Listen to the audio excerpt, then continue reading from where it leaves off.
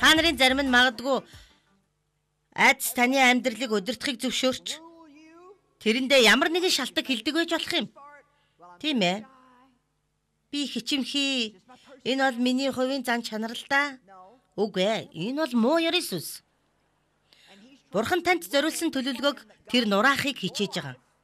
Хэрвээ бурхан бүү аа гэж хэлсэн бол айцаар хүлэгдэхийг та бүү зөвшөөр.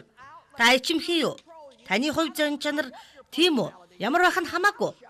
Харин та айцсгүй л амьдрах ёстой.